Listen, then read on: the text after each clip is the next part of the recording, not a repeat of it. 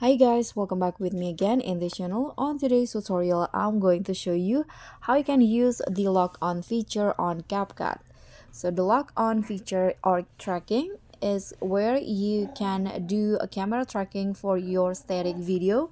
And here what you need to do is add the video that you want to edit and then click on it just swipe until you find this camera tracking options and here you can click on camera tracking. So there are four options that you can uh, tracking subject so you can track the face body hands or you can also customize. So i'm going to just use the face.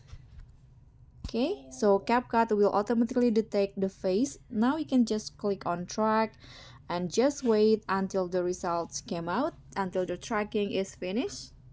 Mm-hmm. Okay so now the camera tracking is completed. In here you can see there are some settings that you can adjust.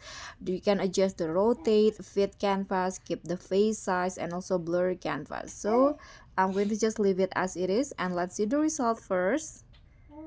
You can see the camera is now moved based on the face movement because I selected face before. So that's pretty much all. Thank you so much for watching. Don't forget to like, comment, and subscribe. Also, click on the thanks. Bye.